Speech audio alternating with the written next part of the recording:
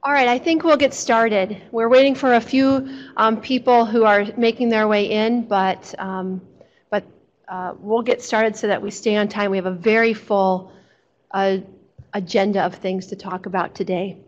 My name is Sarah Eggers, and I am at the Food and Drug Administration Center for Drug Evaluation and Research. Where you'll hear CDER a lot today. That's what that stands for. I'm in the Office of Strategic Programs, and it is my great pleasure to be the facilitator of today's meeting. It's wonderful to see you all here today, particularly uh, the individuals with autism and the self, ad- self advocates and family members of individuals with autism. I want to welcome you to our patient focused drug development meeting on autism. Uh, Ellis Unger will provide some opening remarks in a few minutes, but first let me start by asking my colleagues sitting up here in the front to state their names and where you are from in the agency. Good afternoon, everyone. My name is Ellis Unger, and I'm the director of what's called Office of Drug Evaluation 1. And Office Drug Evaluation 1 oversees the Division of Psychiatry Products.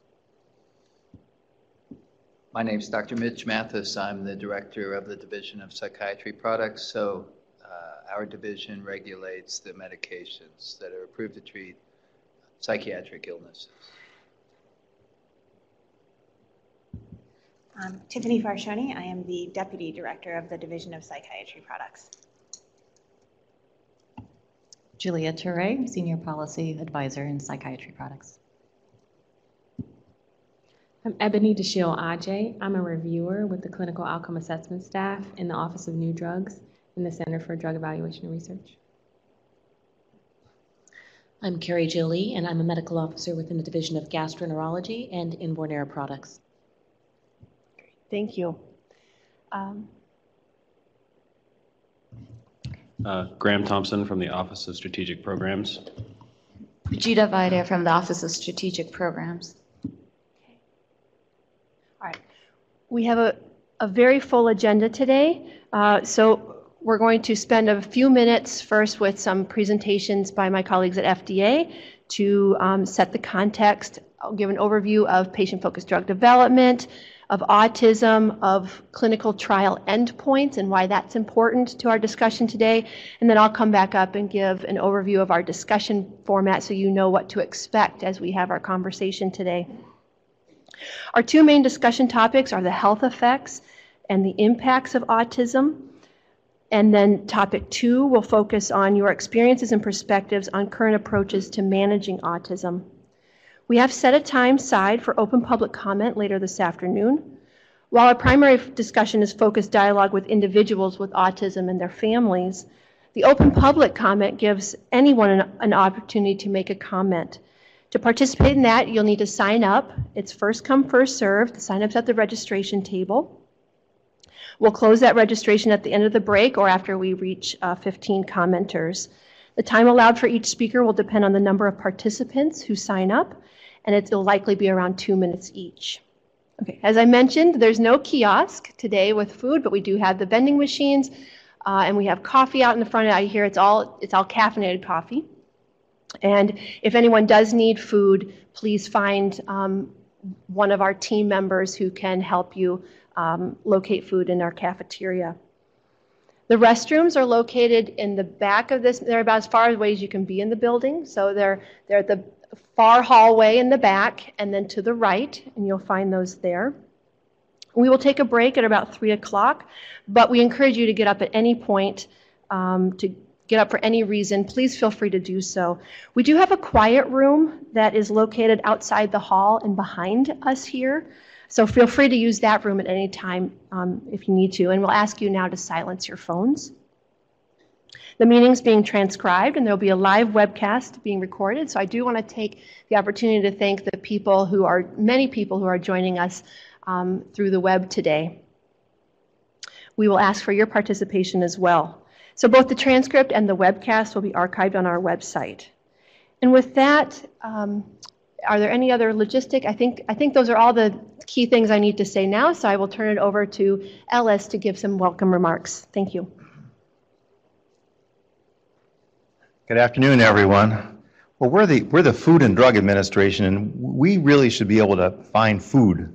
So I don't quite understand that, but if you have trouble, you talk to Sarah. And if you're transcribing this, so be it. okay, again, good afternoon to everyone, and welcome to this patient focused drug development meeting on autism. And as I mentioned a minute ago, my name is Ellis Unger. I'm director of the Office of Drug Evaluation 1, and Drug Evaluation 1 includes psychiatry, which regulates the treatment, uh, excuse me, regulates uh, drugs for the treatment of, uh, psychiatric conditions and also uh, drugs that might assist in managing autism. And on behalf of my colleagues, I want to extend uh, my appreciation for the individuals uh, with autism and families who are here in the room, and also I know there are a number of people who will be on the webcast. Um, and I'd like to thank all of you for being a part of the meeting uh, and sharing your experiences uh, with us. And uh, we really uh, look, look forward to sharing an opportunity to engage directly with you, and we want to learn about aspects of autism that matter most to your child or to you, um, and types of things that make an impact in your daily lives or to your child's daily life. And we want to learn about what's important to you when you think about potential treatments uh, that could address some of the health effects of autism. Dr. Tiffany Farchione uh, is uh, on my right. She's from the Division of Psychiatric, excuse me, Division of Psychiatry Products, and she'll provide a, a bit more background on autism in a few minutes. Um, we understand that autism is, is complex uh, and it affects individuals in different ways um, with different physical, emotional, and social impacts. And many individuals with autism uh, require medical treatments to help manage certain aspects of their condition. And where medical treatments are concerned, it's our responsibility here at FDA uh, to help develop new drugs that matter to people. That's what we do. And I understand we have many people from industry here, academia, and other government partners joining us uh, to listen. Uh, and some are here in the room today, some are uh, probably on, on the web. And uh, I have a, a, few messages I'd like to convey. Um, First, although we play a critical role in, in drug development at the FDA, uh, you might be surprised to learn uh, that we don't actually do clinical trials at the FDA. A lot of people think we do. Um, that's, that's a misnomer. Uh, clinical research is a lot of hard work, and we work with companies and researchers uh, and patient communities to help design the drug trials to establish uh, that drugs are effective and safe. We don't actually do the trials here. Um, we approve drugs only when we have scientific evidence that uh, they help patients feel better or function better. That's kind of the rule that we live by. And then once we make that determination, then we have to uh, make a decision in terms of whether the benefits outweigh the risks. But what we need to know from you is what you value in your daily lives. Basically, what, what matters to you. Uh, what, would, what, would, what would give us a clue that you feel better or function better? um, and how one might measure that in a drug study. Um, so we want to hear what people with autism and, and their families care about. We want to hear how individuals and families think about the benefits and risks of potential uh, treatments to manage autism. And we want to hear how uh, to develop better ways to measure how well a treatment addresses the aspects of autism that are important uh, to people in the room. And then we look forward to incorporating what we learn through the meeting in, in, in terms of accelerating and facilitating drug development in, in this area. So once again, we, we thank you for your contributions to this meeting. And I think that having this type of dialogue uh, that we expect to have today is extremely valuable for, for us and for others. And we're grateful to each of you um, for being here to share your personal stories. I know some of them are, are could be difficult. Um, and we want to hear your experiences and perspectives. And now I'll turn it over to uh, Pujita Vaidya, who will provide some background on the uh, patient-focused drug development efforts in general. Thank you.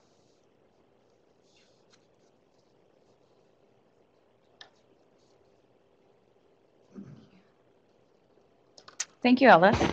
Hello, everyone. I'd like to thank you all for coming today to participate in our patient-focused drug development um, meeting. We're here today to hear from you. But before that, I'd like to give a brief overview on the patient-focused drug development initiative that we started five years ago. FDA recognizes that people living with a condition have a direct stake in the outcome of drug development, and they are experts in what it's like to live with the condition. People living with the condition are uniquely positioned to tell us about the benefits that would be, be most meaningful to, uh, to them, the things that bother them the most, and perspectives, perspectives on overall condition. And this information can then inform the drug development and drug evaluation. Through the Patient Focused Drug Development Initiative, FDA is developing a more systematic way of gathering patient perspective on their condition and treatment options. This input can help inform the collective understanding of the therapeutic context of drug, de drug development, which is important to our role, FDA, as regulators, and the role of developers and others throughout the drug development process. As part of the Patient Focused Drug Development Initiative, FDA is convening 24 meetings in a five-year a five-year period, each meeting focused on a specific condition or a group of conditions. Here's a quick overview of the list of the disease-specific meetings we have focused on in the past few years. In the five-year time frame, you can see that we have tried to cover a broad range of conditions, which include several rare diseases, conditions that are chronic, that are symptomatic or have loss of functioning, that might affect functioning and affect the different subgroups as well. One of the main outputs of, the, of these patient-focused meetings is a report, which is called the Voice of the Patient Report, that captures the patient input faithfully and, and exactly in, um, in your own words, in the participants' own words. We take what we hear from you at these meetings, things uh, that we hear from the webcast and um, through the written docket, and we summarize that and hoping that we are able to capture this exactly the way that you have um, expressed it to us today here. We see this as a useful reference tool for us as it can support FDA staff um, as they conduct benefit risk assessments for products under review or when advising drug sponsors on their drug development programs. We also believe these meetings can have value to drug development more broadly by helping to identify areas of unmet need, such as aspects of of patients' conditions that is not currently being addressed in current therapies. This input may also help developers um, as they identify or create tools used to measure the benefit of potential therapies. And finally, we have seen the potential in these patient-focused meetings to help raise awareness within the um, community as well. So I hope this gives you a brief and better understanding of our program. Now I'd like to turn it over to Dr. Tiffany Farchione, who will give a brief overview of the condition. Thank you.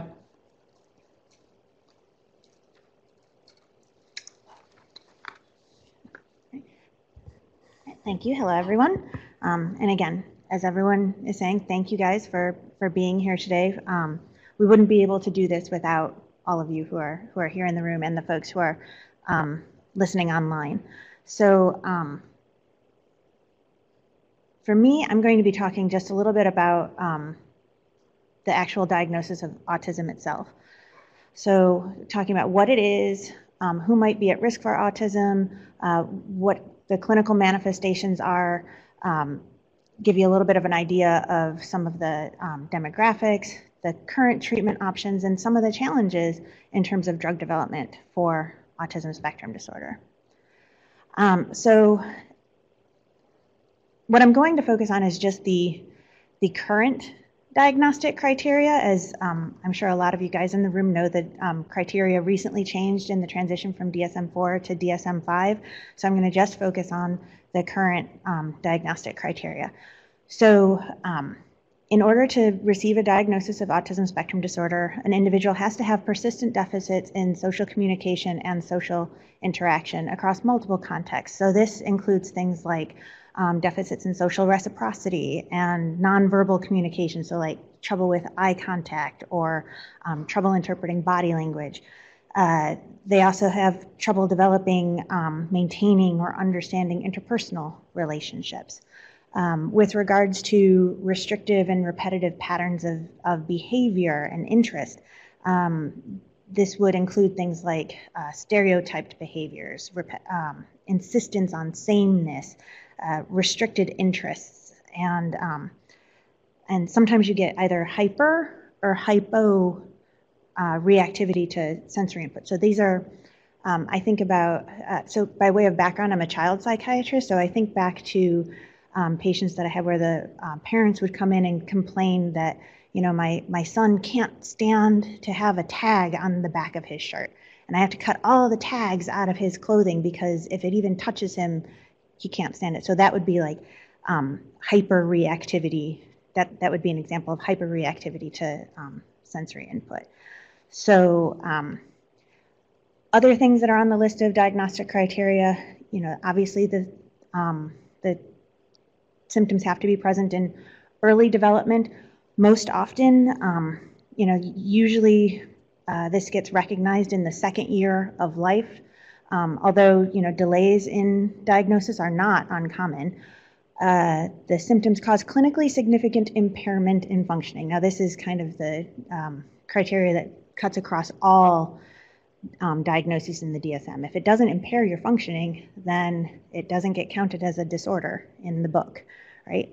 Um, and then there can't be a better explanation by something else, whether it's intellectual disability or some other global developmental delay. You know, if, you, if there's some other explanation, then you don't call it autism. Um, so what are the risk factors for, for this? We don't know what causes autism, what um, makes one person one way and what makes another person another way. We don't know why some people are more severely impacted and others are not. Um, but in the grand scheme of things, it's very likely that there's multiple causes because there's probably multiple types of autism spectrum disorder.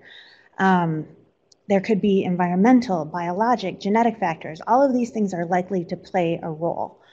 So, for instance, somebody who has a sibling on the spectrum is um, at higher risk of being on the spectrum themselves. So that speaks to the genetic factors. Um, there are certain um, genetic or chromosomal conditions where autism is more common, like Fragile X or tuberous sclerosis. And, um, you know, in terms of other biologic factors, children born to older parents are at greater risk for having ASD. So those are just a few examples of things we know so far. Um, but there is still a lot that we don't know. Um, as far as, you know, if you have a, a person with autism sitting in the room in front of you, what is that? How are, you, how are you going to know? How are you going to recognize that? So I've got a long laundry list, two slides worth of things that you might notice. So um, in little kids, some of the first things that you might notice are that, um, you know, your child is not pointing to the things that he or she wants. Um, they might not look at an object when another person points at it. Trouble relating to others, trouble playing with other kids, um, not making eye contact, wanting to be alone. All of these things are um, part of the, the overall clinical picture. So, and then a few other things, um, not being interested in, in people or having trouble um, having trouble pretending. There's a, and then again, like I was saying earlier, some of the manifestations like repeating actions over and, and over again, or um, you know, really restricted range of interest to where like, you know, you can't change the conversation from one topic to another because the person with autism is is stuck on the one the one topic. So, um, you know, but when you look at this and you see that there's this broad range of things, you realize it, it it's sort of a preview for a couple slides from now when I talk about the difficulty in in developing treatments, right? Because um, what do you target? So uh, just to let you know an idea of how common this is, um, I know that this is, well, I mean, the screens are really big, so I guess it's not as small as I thought it was going to be. But um, one of the things that has been um, an issue is that it seems as though the prevalence is increasing you know, and there's always been this argument like, is the prevalence actually increasing or are people recognizing it more? Are we over, you know, what's going on? Nobody really knows, but at least in the last, um, the last two surveillance periods, it seems that things have stabilized. So the, um, the, the prevalence is still, you know, it's one, incidence rather, is one in 68 children. So that is a lot of people with autism. And again, because it's a spectrum, you know, the, the, the level of impairment or the level of functioning will vary greatly across all of those individuals. So, what do we do about this? Um, as of right now, there are no FDA approved drugs um, to treat the core symptoms of autism. So, you know, the things as far as the social communication issues or the um, repetitive behaviors and things like that, there's, there's nothing. We don't have anything approved for, for those features.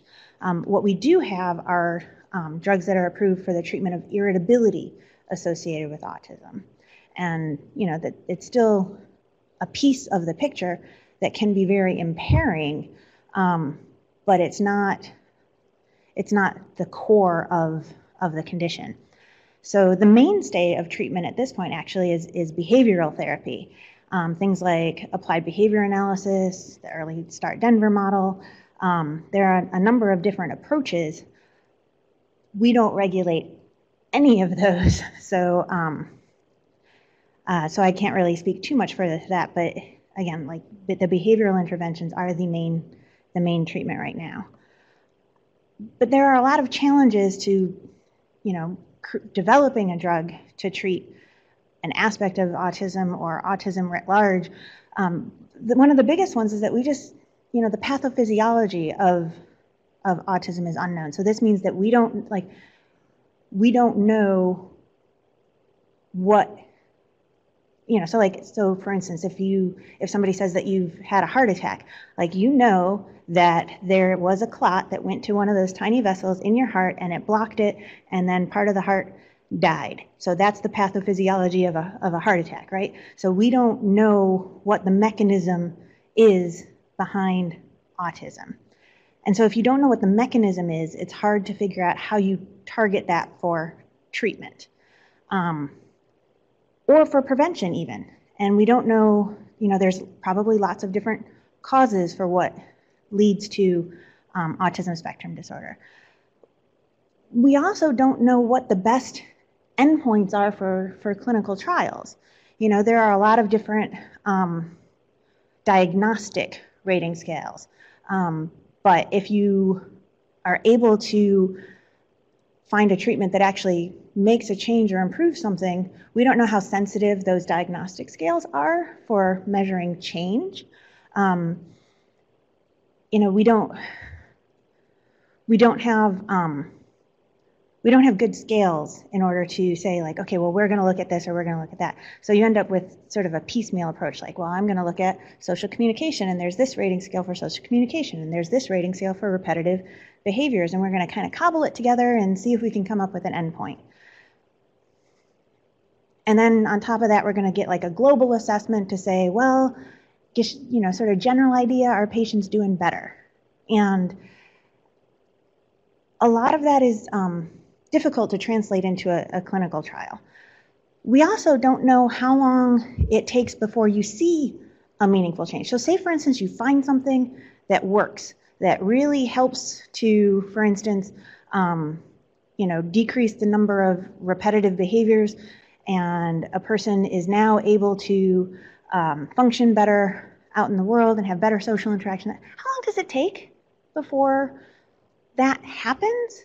You know, and if you don't know how long it takes before you're going to see that happen, you don't know how long your clinical trial needs to be. You don't know at what point you need to assess the endpoint. You don't know whether, you know, maybe there might be early signs that you could have an earlier endpoint in the trial. So it makes it very challenging. And we also don't know, like, is there a, a, a, window where you can intervene and make a difference?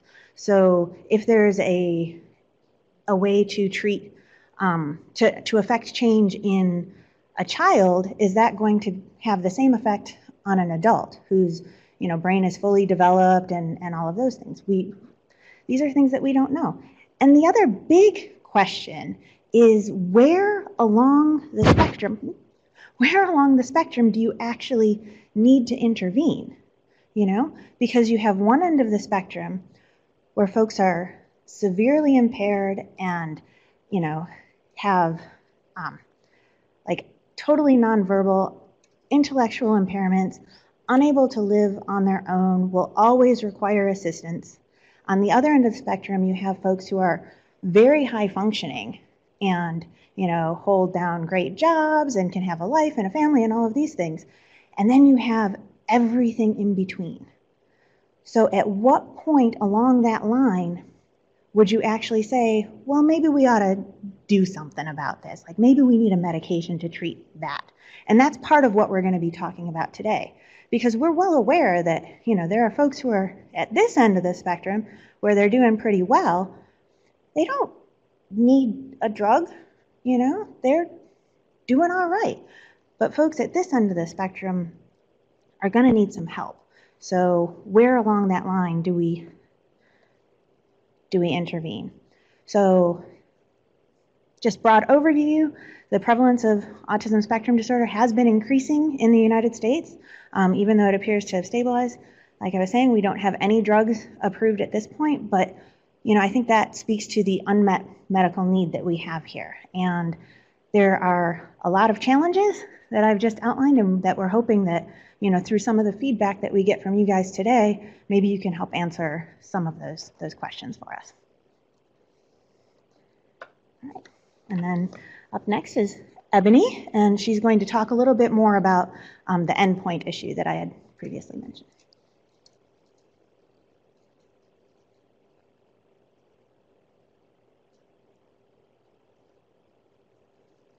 Good afternoon, everyone. So today I'm going to take you on a brief journey down the road from patient-focused drug development public meetings to clinical study endpoints. Here's a general disclaimer that the views that are expressed in this presentation are my own. So, you may be wondering, how is the information from these PFDD meetings used? Where do we go from here, and how do we take this valuable insight and create clinically relevant, patient-focused endpoints for clinical studies? At the FDA, we believe that PFDD meetings are very important. They provide the opportunity for individuals and caregivers' voices to be heard. For instance, in the case of today's meeting, individuals and caregivers can share their experiences with the health effects of autism in their own words letting us know what symptoms and impacts are most important to them. And drug companies want to know this perspective because it can give them ideas about what should be measured in their clinical studies. They can then select and develop questionnaires that measure these important concepts and engage with the FDA as they develop treatments. The information from these meetings can also help support the FDA's review of clinical trial questionnaires to confirm that they adequately capture the individuals and caregivers' perspectives on health outcomes. While the PFDD meetings provide useful information, we strongly recommend that drug companies and researchers obtain additional input from individuals and caregivers through focus groups, one on one interviews, as well as engage experts and other physicians when they develop their questionnaires. And this will help confirm that the questionnaires include important and relevant content and that the questions and instructions are clear and understandable by those who will complete them. Another advantage of these meetings is that they help us think about clinical study endpoints. So what's an endpoint? In the case of questionnaires, the study endpoint would be how the questionnaires score is going to be measured and analyzed in the clinical study. For example, if individuals with autism or their caregivers are reporting that the most important treatment benefit is symptom improvement, then we would use that information to encourage the drug company to select or develop a symptom questionnaire that meets regulatory standards. The study endpoint could possibly be the change in the questionnaire score during the clinical study, which would measure the amount of symptom improvement. I should note that many important things are discussed during these PFDD meetings. However, not everything will change with treatment, and it would be difficult to interpret results if these concepts are measured within the clinical setting of drug approval.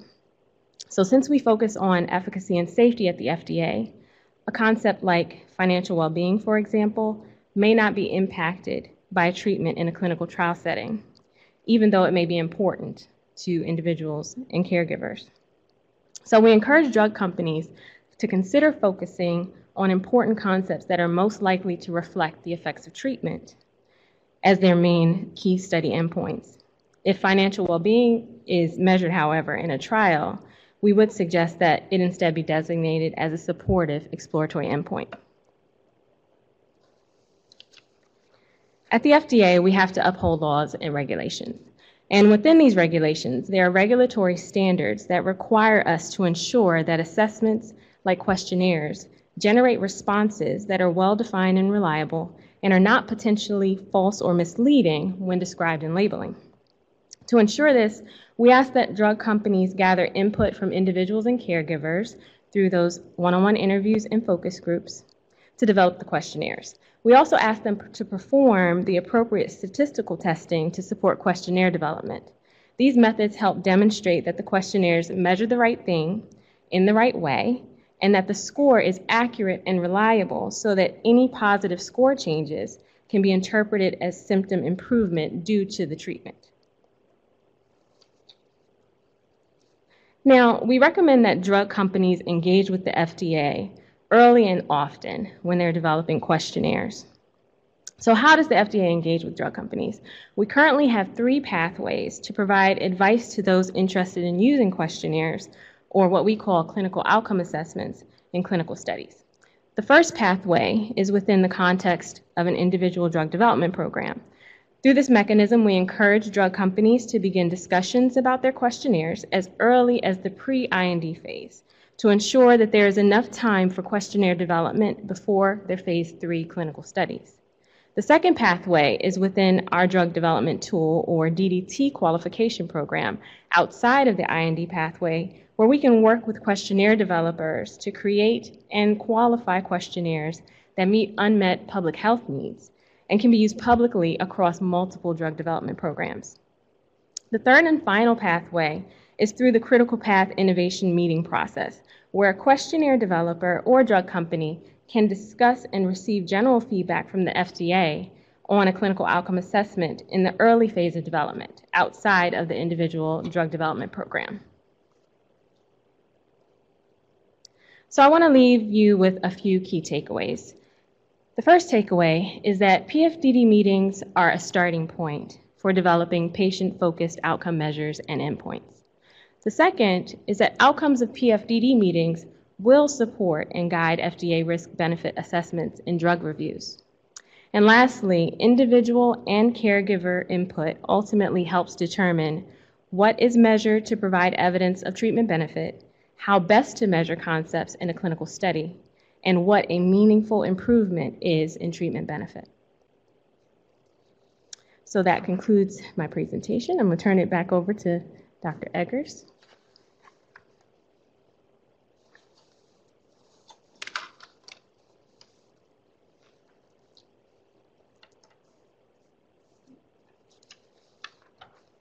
Thank you to my colleagues for the background uh, demonstrating the complexity of the condition and drug development uh, for treatments. Now I'm the only thing that's standing between us and what we really are here for, which is dialogue with individuals and family members today. And to do that, I want to um, give a few, um, a few opening, a few descriptions of what our meeting looks like today. So, I'm going the wrong way. So, as I mentioned at the start of the meeting, and I know some of you have come in after the opening, so I'm going to go through this again so we're all on the same page.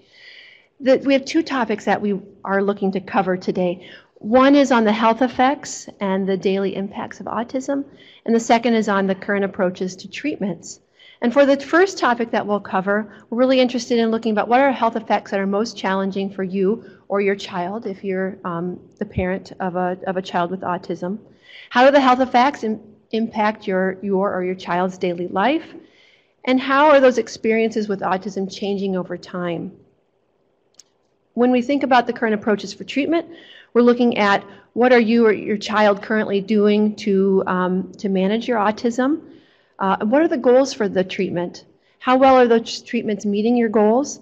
And what would you consider to be a meaningful benefit of any treatment?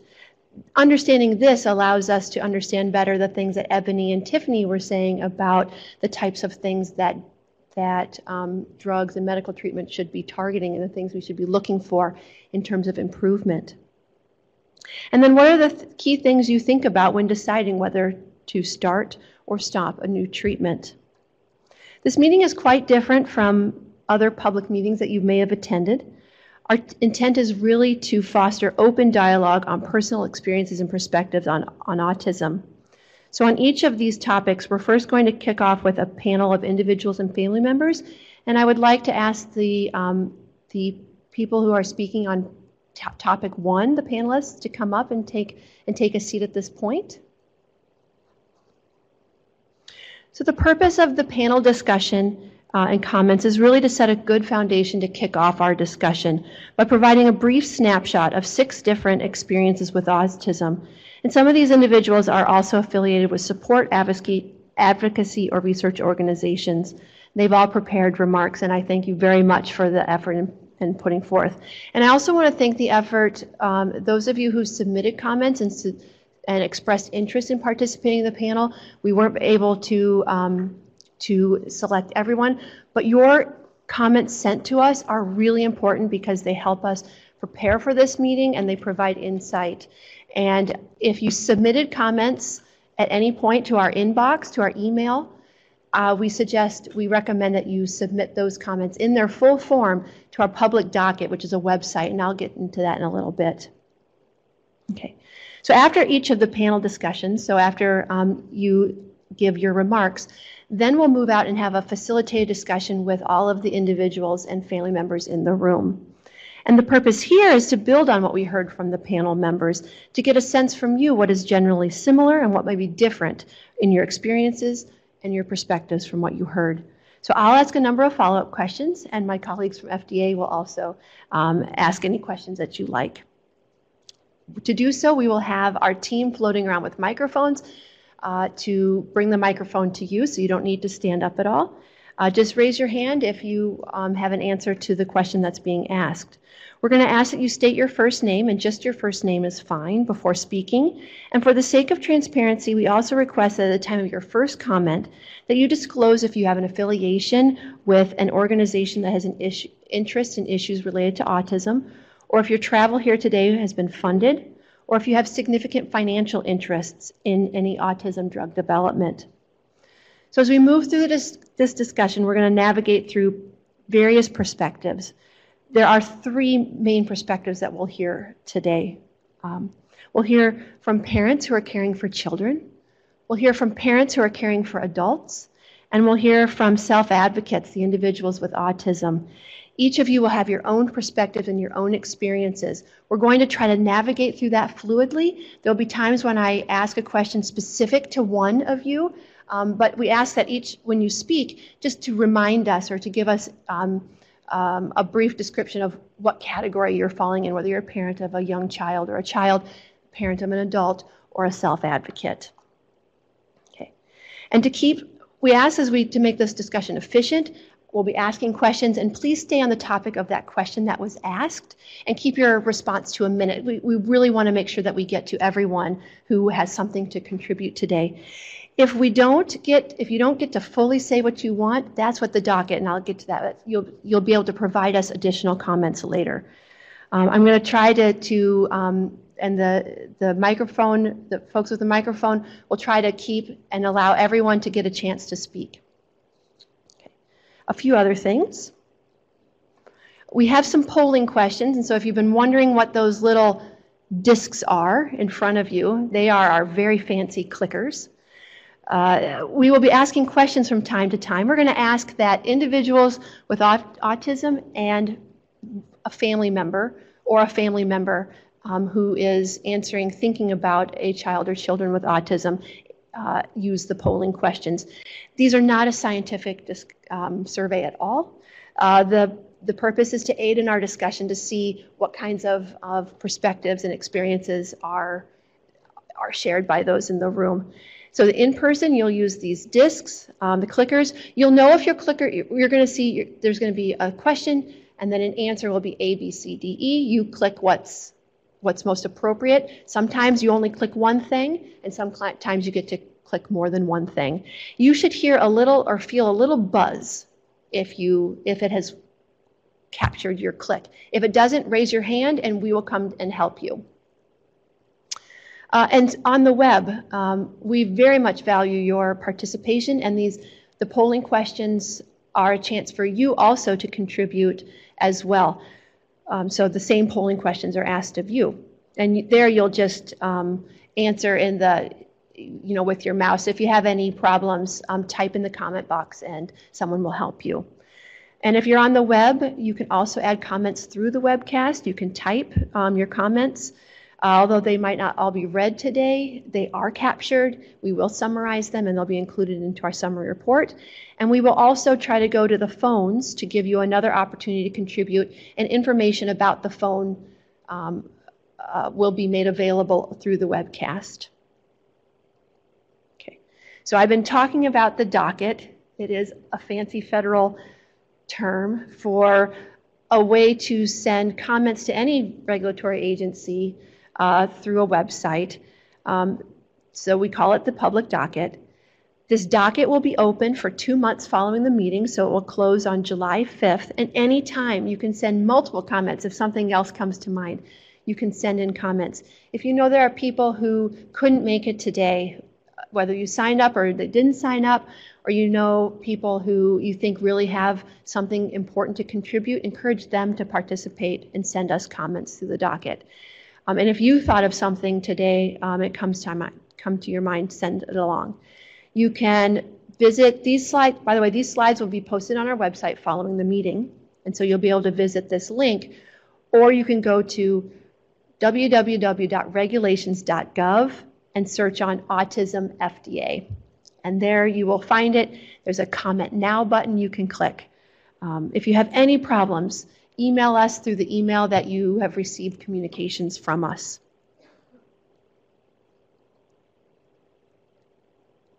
Okay, there are a couple other resources at FDA. Just want to point you to if this, if if you're if you become or are interested in topics related to FDA and drug development and drug review. If you're an individual and family, I would suggest your first stop is our FDA Office of Health Constituent Affairs. They run the patient network and patient representative program, so you can contribute your voice that way. And for advocacy and support and healthcare providers, a first stop for you might be CDER, that's the drug evaluation, uh, professional affairs and stakeholder engagement, or we call it PASE. Uh, they facilitate collab collaboration and communication between um, the FDA experts and, um, and stakeholders on issues in drug development review and safety. And I also want to put a plug on May 12th. If you're interested in, in this topic, um, there's a workshop called Roadmap to Engaging with CDER. You can Google Roadmap in CDER, and you should be able to find that right away. And if you have any questions, again, email us. We're not, um, our office isn't running that meeting. It's, uh, I believe PASE is, um, but we can definitely point you in the right direction. Okay, so there are a few um, um a few rules we'd like to put out um, to make sure that our meeting is as effective, fair, and open as possible. And, and I'll start with encouraging all family members and individuals to contribute to the dialogue. Whether you have a name tag or not, we don't know if we have name tags for everyone. If you are an, a self advocate or a family member, we want to hear from you and we encourage you to contribute. Everyone else, we're asking you to stay in listening mode. There is that open public comment period for you to contribute if you would like to. FDA is also here to listen. Uh, they'll ask some follow-up questions. You may have questions on your mind for FDA. We may not be able to address questions as much as we would like today, but if you do have a question, write it down on your evaluation form that you'll find, or write it down on a slip of paper and send it to us or email us and we will figure out a way to answer your question. The discussion will focus on the two topics I mentioned, the, the autism health effects and the treatments. And there, what we will not focus on much today are, eh, are the specific causes of autism or issues as much re with regard to the healthcare system in general. We will be focusing as much as we can on what FDA, what's in, within our mandate and, and mission to think about. It is imperative to understand that the views expressed today are personal opinions, and not only are they personal opinions, they are very personal, very sensitive topics that we'll be covering today. And And it is a lot. We know it's a lot for you to come and speak today. And we, you can know that everyone in the room respects that. Um, and if you're typing in on the web, the same. We have respect for everyone and everyone's perspective. We know that we have people who are wearing different hats and they have different experiences with autism. And so we just want to make sure that respect for one another is paramount. Okay. Finally, let us know how the meeting went today at the end of the meeting. Evaluation forms are available at the registration table. They are very much um, important to us. Although we've conducted, I think, 22 of these meetings, we learn every single meeting how we can do better. And so we value your input. With that, we are ready to get into some polling questions. Uh, so, the, so I'll ask those of you in the, in the room to get your clickers. So we start with, we start with probably the easiest one we have, which is where do you live? So if you live within the Washington, D.C. metro area, we'll ask you to click A. And if you came from outside the D.C. area, we'll ask you to click B.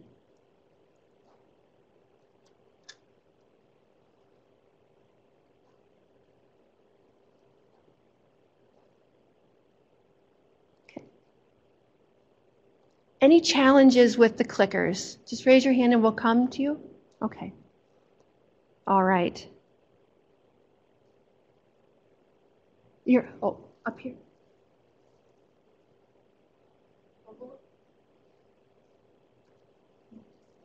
This is not, this is, this is a question, okay, if you don't, if you don't um, get a chance to answer. So can we, I'm getting some buzz that we might have some difficulties with the polling question. So maybe it's all of us that are having the problems. And okay. You know what? I'm going to suggest that we will figure out the we will figure out the panel uh, the the polling questions, or we won't, and we're going to move on right now just to hear why we're really here is to hear your stories. So we're going to go through. So, sorry about all of the screens. We'll just go through and ask um, Nadine to start and say your comment, and then we'll move through the line with your comments, and then we'll then we'll see where the polling um, went. So when you comment, please uh, push the red button. Bring that microphone as close to you as you can. Um, the red button at the bottom, and um, when you're done, uh, we'll move on to the next, and, and you can click off your red comment. Yes. No, just press once. So we'll see how Nadine. Oh.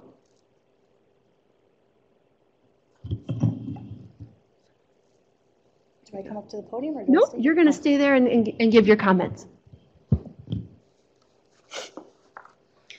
Good afternoon. My name is Nadine Morris, and I'm here to share information about my life with autism. My daughter Anna was diagnosed with autism spectrum disorder two and a half years ago when she was three. Anna has a lot of classic signs of autism. One of the signs is being kept on daily routines. For instance, she has to have the same lunch every day two pieces of pumpkin bread, Go Go Squeeze brand plain applesauce, and Danimals strawberry yogurt smoothie. If this or any normal activities change, she will have difficulties adjusting throughout the day. Additionally, transitioning from one task to another can be difficult for her. It is not only necessary for me to give her adequate notice before we can change tasks, but how I actually communicate that notice to her is just as important. For instance, before we leave the park, I have to ask her, Anna, how many minutes until it's time to go? She responds to me with a time, and then I respond that I'm setting an alarm for that many minutes. So when the alarm goes off, she's able to stop what she's doing and transition without any issues. However, if I do not ask her to give me a time and instead of say to her, we're leaving in five minutes, She's totally thrown off, and I'm facing a major meltdown. Socializing is another challenge for Anna. Although she has far exceeded the expectations for developing her expressive language skills, any random conversations can be similar to that of a toddler and usually lacks a common interest. She also tends to be socially awkward. She'll point at a person who she's talking to, jump up and down, and flap her hands, especially when she's overly excited.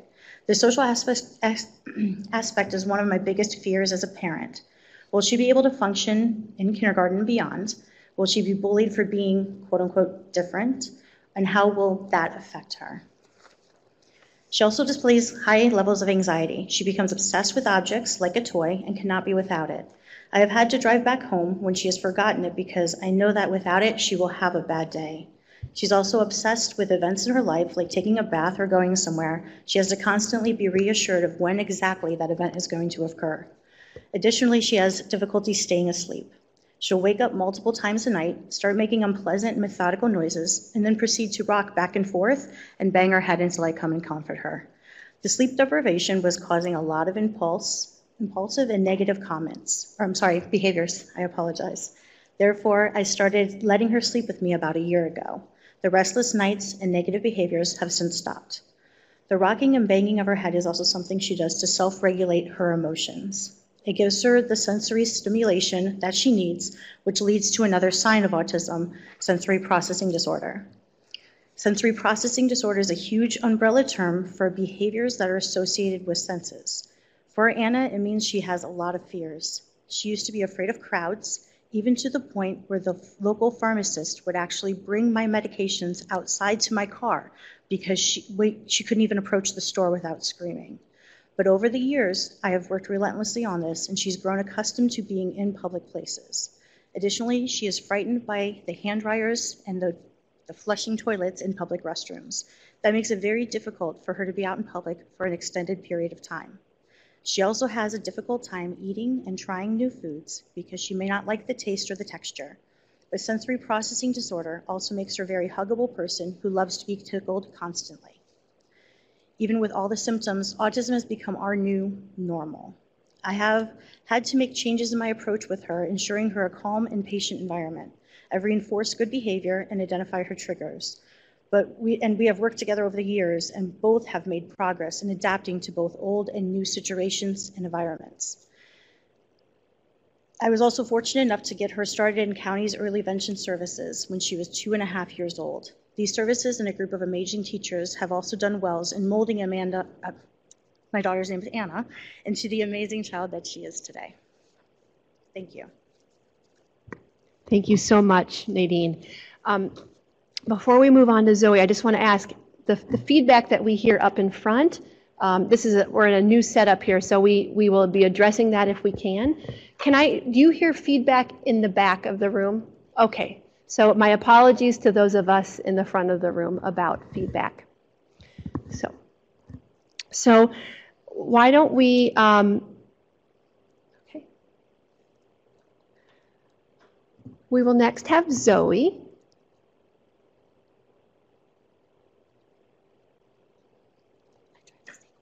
Zoe, Sorry about that. I thought if we were taking a break to address the feedback, I might as well bring my headphones up. Um, thank you so much for having me on this panel. My name is Zoe Gross. I'm autistic and I'm the Director of Operations at Autistic Self-Advocacy Network. We represent a community of autistic self-advocates with a broad range of disability experiences. So people with and without intellectual disabilities, people who speak and people who don't, people who need daily support and people who don't. I want to say right off the bat that when I talk about self-advocacy, that isn't limited to people who work for nonprofits. A self-advocate is someone who has preferences and has access to any way to make those preferences known. And any discussion of the needs of autistic people needs to center self-advocates with all kinds of experiences. I'm really glad that the FDA is interested in patient perspectives, but we must be careful not to treat autistic perspectives as interchangeable with the perspectives of our loved ones. In order to get a good range of autistic perspectives, we would need far more self-advocates participating than we have here today. I want to make sure that we begin with a framework that prioritizes supporting autistic people and improving our quality of life. So we should talk about what quality of life looks like for autistic people and question any assumptions that we might be bringing to the table. For example, the number of times I made eye contact today is not a valid measurement of my quality of life, but it is a trait of autism that many interventions target. We need to make sure that when we talk about problems, we are talking about things that are problems for the autistic people who are experiencing the things, not simply things that make us look different or that inconvenience others. The fact that something is a trait of autism doesn't mean it is a problem in someone's life. A lot of people have tried to develop medical interventions that target repetitive behavior, for example, like flapping your hands or pacing. Um, we might call this stimming. Um, but stimming doesn't cause us problems. It often helps us focus and interact with the world around us. So a medication or other treatment targeted at reducing stimming might make us appear more normal, but it wouldn't improve our lives. It might cause us new problems. We strongly discourage drug development that targets this type of behavior. Even if something is both a trait of autism and a problem in someone's life, that still doesn't necessarily mean that it is an appropriate target for medical intervention. For example, some autistic people struggle with self injury or aggression. These are serious problems in people's lives. In some cases, self injury or aggression can represent an attempt to communicate that something is wrong or can be a response to physical pain. If these needs are not evaluated, giving someone a medication to stop them from self injuring may leave underlying needs unaddressed. Autism is not an illness or a disease, it is a developmental disability. Even things like self injury and aggression are often best handled with supports other than medication. It's also important to note that a lot of the really difficult medical or difficult or disability experiences that autistic people have are not caused by autism, but by co-occurring conditions. Some of these can include anxiety, depression, post-traumatic stress disorder, insomnia, connective tissue disorders, and seizures. We need more research into the interactions between autism and these disabilities, and more research into whether best practices for treating conditions like anxiety and epilepsy are working for autistic people. For example, autistic people are more likely to have seizures, and therefore more likely to be prescribed anticonvulsants. But autistic people are excluded from trials of anticonvulsants. We know that in some cases, autistic people may react to medications differently, so the lack of research and data on this is a big problem. But it's important when we talk about how best to improve autistic people's quality of life that we remember that things like seizures and insomnia are not caused by autism and would not be impacted by a medical intervention that targets what we think of as core autism features. Thank you again for having me, and I look forward very much to our discussion. Thank you very much, Zoe. For those of you that have been on the panel, if um, the feedback bothers you, at any point, feel free to go back to the table and be part of the conversation then. And now we'll move to Cheryl, please. Hello. I have three offspring uh, diagnosed with autism a daughter, 24 years old, and two sons, 22 and 19.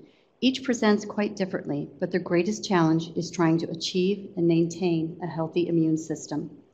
For almost two decades, they've done blood work about every six weeks to monitor their immune markers.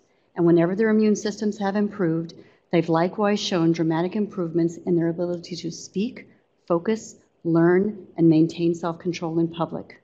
They are much happier. All three of my children have experienced issues with speech and communication, environmental and food allergies, reduced blood flow in the brain as documented through neurospect scans, reduced ability to fight infection due to low natural killer cells, inflammation as shown through chronically elevated eosinophils and ferritin levels, years of elevated group A streptococcus bacteria as measured via ASO testing, and reactivation of one or more human herpes viruses, HHV, as evidenced by highly elevated IgG antibodies. I'm concerned about high human herpes virus IgGs because this opportunistic virus family, which is in the same group of double strand DNA viruses as smallpox and adenovirus, has been associated with organ transplant rejection, cancers, multiple sclerosis, and many other illnesses. My daughter's unique immune symptoms are best described by her diagnoses. As an infant, she had issues with bilirubin, thrush, cradle cap, latching, and a large head due to fluid buildup outside her skull. She could she could speak words clearly at six months, but quickly lost each new word, very likely due to a seizure disorder finally diagnosed years later. As a toddler, she could still speak some words, but her speaking voice became less and less clear, and she demonstrated significant auditory processing issues. Both of these conditions may be connected to the middle ear drainage problem that we now know affects her hearing. She also began demonstrating some of the obsessive compulsive behaviors which continue to plague her to varying degrees. In recent years, her anti-nuclear antibodies have often been positive, indicating autoimmune issues. She has also been diagnosed with nodes on her thyroid, calcifications on a pelvic cyst, endometriosis, and a genetic mutation linked to susceptibility to multiple cancers. Her communication remains at a basic level. My older son's unique immune symptoms are best described by numbers. At one and a half, he whined most of the time, yet had no discernible speech. At age two, he understood everything said to him, yet lived in his own world. At age three and a half, he became gluten free and for the first time in his life was able to tolerate being held or bathed. At age four, he went dairy free and also began an antiviral medicine, the latter because he had high HHV6 IgGs and because his alpha interferon level, indicating his body was fighting a virus, was 1100, 100 times the normal level. The next day, he slept through the night for just the second time in his life. At age four and a half, he stopped having diarrhea on a nearly daily basis after starting treatment with a now defunct immune modulator. He spent eight years from ages 6 to 14 taking an antibiotic to reduce his group A streptococcus titers from a high of over 2,400, 12 times the normal level, down to 172. Only 30 days later, his strep titers shot up tenfold to almost 1,800 due to his exposure to a person with strep and some inconsistent antibiotic administration. Soon after that, he became extremely violent toward property, himself, and others, a situation which continues when he's in poor immune health. Currently, after eight and a half more years of antibiotic treatment, his strep titers are down in the 400s. A thickened heart valve resulting from strep related rheumatic fever has repaired itself, and he seems to have stopped his most violent behaviors. However, he remains mostly nonverbal, and his ongoing immune issues have left him unavailable for learning. My youngest son's unique immune symptoms are best described by his gains. After losing all speech at 11 months, he regained it at age 2, right after going off dairy. He lost speech again a few months later, but regained it once again at age two and a half after starting an antiviral protocol to target his high HHV titers. As a toddler, he couldn't comprehend facial expressions or understand another person's mental perspective, but by elementary school, after his immune health improved, he was able to use movies and conversation to develop these skills. Diagnosed with a visual tracking disorder that made reading a challenge, he just received his associate's degree with a B average and starts a four year college this fall. Restrictions on activities because of symptoms.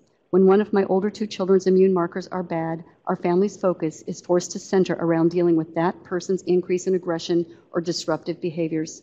Our best days are family vacations where everyone is able to go.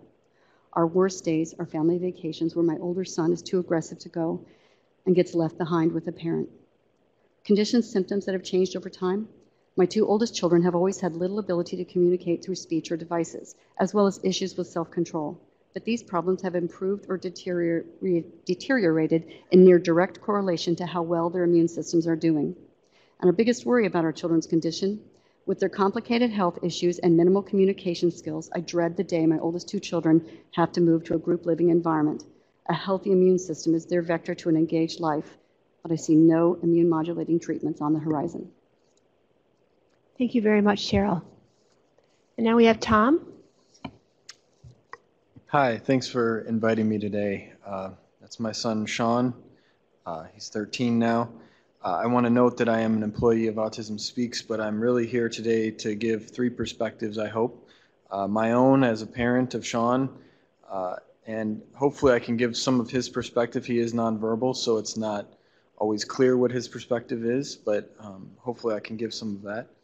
And I'd also like to give uh, you some of the responses that we received to the survey that was sent out from uh, our family advisory committee in the Autism Speaks Autism Treatment Network. So, um, my son struggles with communication all day, every day, um, from the moment he wakes up to the moment he goes to bed. Uh, he's nonverbal, and even expressing basic wants and needs is quite a challenge for him. He uses a speech generating device and he carries it with him most of the day, uh, but he's not very fluent with it, uh, at least not yet. And uh, he prefers to use other less effective means like tapping us or sometimes pushing us. Um, this causes a lot of problems in understanding him, as you can imagine, and it certainly causes a lot of problems in interacting with him. Uh, from his perspective, I have to believe that this is incredibly frustrating for him.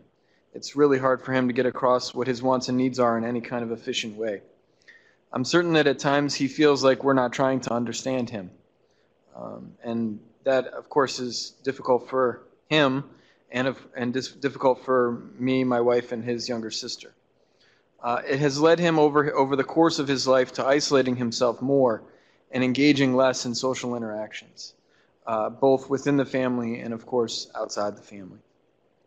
Uh, so communication is really our major struggle, and it's his major struggle. Um, on the survey, our family advisory committee noted challenging behavior, communication, sleep difficulties, and of course co- occurring conditions like GI problems, seizures, uh, et cetera, as being some of the biggest concerns that they face. Uh, as a result of my son's autism and the cognitive intellectual difficulties that he has, he's not independent in, in most tasks, including basic daily living skills. He really needs a lot of prompting to engage in or complete tasks. And again, it seems to me that it's frustrating for him because he becomes very reliant on us, and I think he would like to have more independence than he can uh, achieve uh, at this point. Um, he d- just as one example, he doesn't like to get helped in showering or bathing, but obviously these are pretty core things that need to get done every day uh, or almost every day, and uh, so that can be quite a struggle and a fight between us. Uh, on the survey questions, parents from our advisory committee noted social interaction as being the, the most frequent activity listed where their children could not fully engage with their peers or with other important people they wanted to interact with. And I wanted to just uh, sort of end with noting that while my experience uh, and our family's experience, my son's experience, and then the experience of the parents on our survey was that the difficulties that I'm describing do improve over time, that they tend to remain significant. And on the worst days, they cause significant distress. Um, for my son, this often manifests as challenging behavior, uh, sometimes kicking or pushing. Um, uh, he's six foot tall, so when he kicks, it's not trivial. Um, he can feel very frustrated if he's not able to communicate or he's not being understood, as I mentioned. And uh, I don't think he wants to be physical. I don't think he's interested in hurting anyone. Uh, but the, this sort of pattern in our family definitely leads to a loss of quality of life. It certainly affects uh, his younger sister uh, when she gets caught up in it. Along with sleep difficulties, um, uh, and the challenging behavior and the communication difficulties. Um, my son has a history of many of the problems that have been described, uh, from GI to immune related problems, and um, those also periodically affect his functioning and certainly his well being. Um, on our parent survey, it was noted that uh, on the worst days, some of the parents' children need constant supervision, which was extremely difficult for both them and their children with autism and it really limits the child's feeling of independence or the adolescent, in some cases, the adult's feeling of independence. Um, I would just finish by adding that my main worry as my son gets older is his ability to transition to a supported living environment and also to some kind of meaningful vocational placement. Um, and on the survey that we sent out, uh, the parents noted concerns about education, living, and vocation and work were, were the, really the major worries for parents. Thank you. Thank you, Tom. And now we'll have Sarah. Um, hi, my name's Sarah. Uh, disclosure, I work for the Association of University Centers on Disabilities, or AUCD. While I will be referencing a webinar that I helped produce with them, the following comments are my own opinions and do not necessarily reflect the opinions of my employer. Um, so I'm an autistic adult, and I would consider the most difficult uh, issue I face with that uh, to be a co-occurring condition. Um, I struggle with depression, anxiety, and suicidal ideation. This is not uncommon for autistic people. 67% um, of adults with Asperger syndrome, which has now been folded into autism spectrum disorder, reported suicidal thoughts, and 35% reported having specific plans or attempting in one study in, from 2016 in Lancet Psychiatry. Um, in another study, 14% of autistic children under 16 talked about or attempted suicide compared to 0.5% of children in the general population. Additionally, autistic children who reported bullying were three times more likely to consider or attempt suicide than autistic children who did not report bullying. 60% of the autistic children in the study reported uh, bullying, and that was a study from the journal Autism in 2012. Um, in the last year alone, three of my friends in the autistic community have attempted suicide. I myself attempted in 2014 after being fired from my first full time job after two weeks for being a bad cultural fit. Uh, in retrospect, this most likely means I did something socially inappropriate without even realizing it. Um, I did some interviews with other autistic adults for a webinar I did with the Association of University Centers on Disabilities called Suicide Screening and Prevention in the Autism Community New Developments and New Perspectives for Autism Researchers and Professionals and talk to them about some of the barriers faced in terms of getting treatment and care. Um, you can find that archived on the, you can find the archive webinar on the AUCD website if you're interested. Um, I think that there needs to be more focused patient-centered research on autism and its relationship to anxiety and depression. Right now, the majority of drug treatment is centered on reducing behaviors. What that means in practice is that drug treatment for autism is centered on making us more manageable for non autistic caregivers. This is the primary purpose of prescribing things like Haldol or Risperdal and other, he- and other heavy antipsychotics to children. Um, it's essentially a chemical straitjacket. Instead, treatment should be focused on reducing our anxiety and depression and on increasing our quality of life, life as a whole. This means that we need to have better access to care. Getting a psychiatrist who understands both mental health and developmental disability issues is a struggle. Finding someone who's competent in both and treats adults is basically impossible. Um, and even if someone does treat both, they often don't take insurance. Anecdotally, autistic people, additionally, an additional issue is that anecdotally, autistic people seem to be more sensitive and respond atypically to many medications. Um, so the lack of specialized knowledge and research is particularly damaging and unhelpful. Um, we also need a holistic approach to improving our lives with focus on employment, education access, and anti bullying efforts. Um, while having more drug research is extremely important, uh, I want to remind everyone that drugs alone won't won't solve the problem because, uh, but drugs should be included in a way that's consent-driven, research-oriented, and most of all, patient-centered. We are autonomous people from our parents and often have different goals and needs than they do, like any other children and parents, and that needs to be respected. Thank you very much, Sarah. And finally, we have Kiely. Uh, hello, uh, my name is Kiely Law. Uh, like many of you in the room, I wear many hats in the autism community, both professionally and personally. Uh, by training, I'm a physician and a researcher. Um, I work with the Interactive Autism Network and Spark for Autism. Um, my everyday work is focused on engaging our community as key decision makers in autism research. Uh, the reason I'm here today is that I am the mom of a young adult with autism, and I wanted to share our family's story. My son Isaac, now 24, was diagnosed with autism in 1996. He was three years old. Um, I am not going to say much about the early years, except that they were rough. Um, I'm going to focus on how Isaac is doing as a young adult. Isaac is somewhere in the middle of the spectrum. He is fully verbal, and at the age of 20, he was able to receive his high school diploma. He qualifies for residential and employment support services through the Maryland uh, Developmental Disabilities Administration. He lives in agency provided housing with one housemate and part time staff. To date, he has not been able to find a job that is a good fit for him. Isaac's biggest challenge today is related to his dual diagnosis of autism and bipolar disorder. He received the second diagnosis at age 15. He is not alone. We know from research that between 54 and 70 percent of people with autism also have one or more other mental health conditions.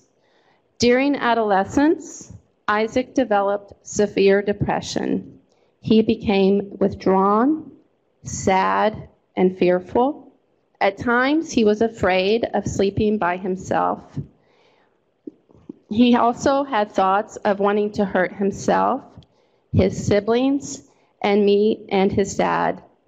Um, Isaac has also been extremely manic. He has run away from home. He has tried to flag down uh, drivers in the middle of the road to take him to the airport, and he has been picked up twice by the police. He has been hospitalized two times in the last three years for problems related to his mood disorder. We have struggled to find mental health providers who are familiar with adults with autism and with mood disorders. We have struggled to find effective, effective treatments. At one point, Isaac was on five different psychoactive medications at the same time. Now he is fairly stable on two. Uh, we have also tried many different types of supportive therapy. Ultimately, art therapy has been the best fit for Isaac. Another problem related to Isaac's autism and now also his mood disorder is the significant difficulties he has with falling and staying asleep. Uh, sleep has always been a problem for Isaac, but I think now it's even a bigger problem because the poor sleep worsens his mood problems. Uh, the relationship between autism, mood disorders, and sleep disorders is complicated, and for our family, it's an important topic to figure out. Other challenges that are problematic for Isaac and that keep him um, from achieving his best include um, slow processing speed and poor working memory. He also has difficulties understanding social, social situations, and he has uh, problems with sensory sensitivity. All of these challenges make employment and independent living very difficult for him. I wanted to end by saying a few positive things. It's always hard being a mom up here and saying the talking about the problems.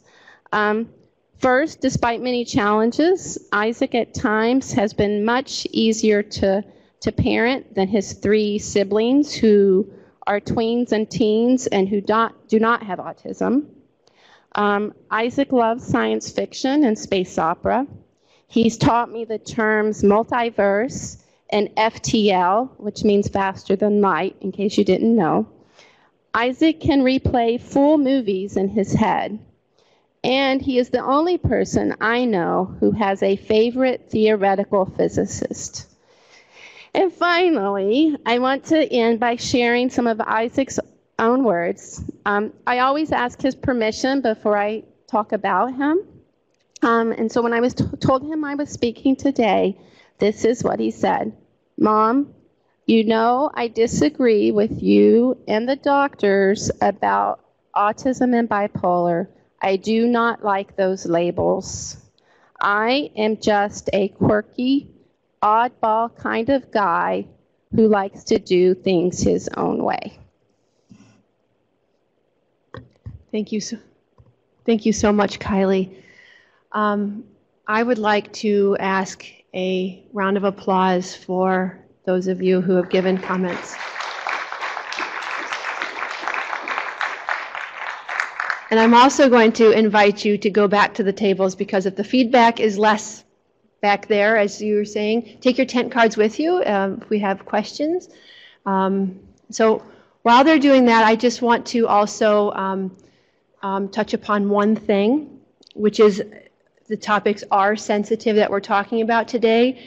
And one of the topics that we have heard about and will talk about is suicide ideation. And just want to remind you to seek any help um, if you need it. Uh, the suicide prevention, the National Suicide Prevention Lifeline um, is is there. We have the information. Um, we'll put it up on the screen uh, at the break, and um, um, just wanted to put that out there. Thank you. So I'm going to see if I can get this microphone to work. It might take me a second.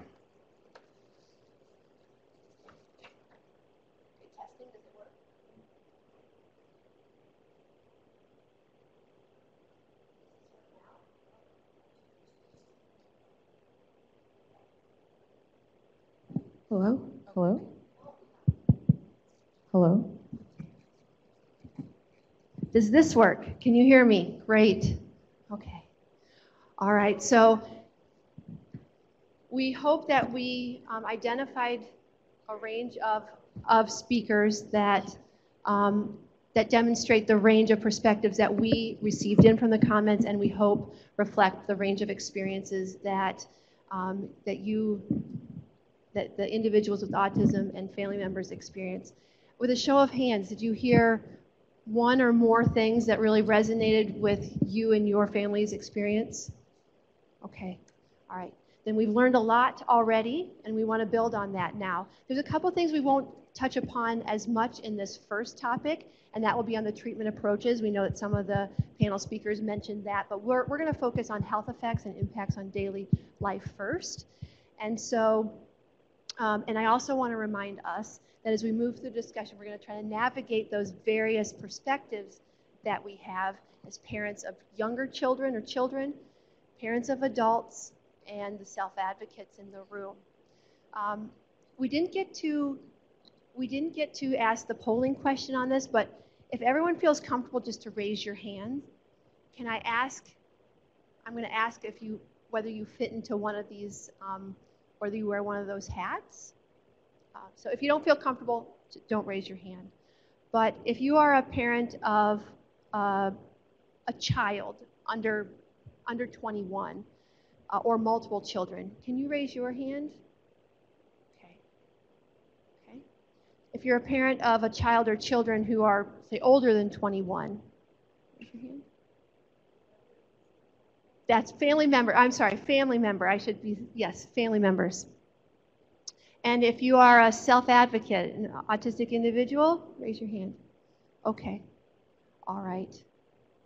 So we have um, we have all three perspectives um, represented in the room, and oh, I can't move. Yeah. Okay, I'm going to stand right here. All right. I move a lot. These are new microphones. We're going to go. Move, don't move your hand. Don't move my hand. Okay. All right. I can do this.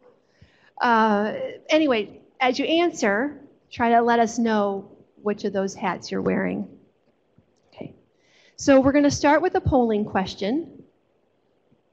And these polling questions are never perfectly worded, but what we're trying to get at is a sense of where you may find your experiences and perspectives. So as to answer this polling, and, and we'll see if it works. Um, I hope this works. The polling question is trying to get at what health effects of autism are most challenging for you or your loved one, if you're the, if you're the family member of a loved one. You can choose up to three health effects. A is irritability or disruptive behaviors. B is cognitive impairment. C is social impairments. D, communication difficulties. E, repetitive behaviors. F, sleep issues. G, depression or anxiety. H, gastrointestinal symptoms. Or I, a health effect that's not up here.